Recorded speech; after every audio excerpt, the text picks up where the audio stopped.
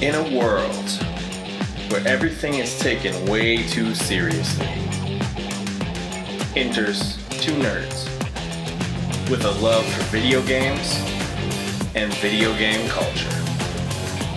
They are The 8 Bit Crusaders.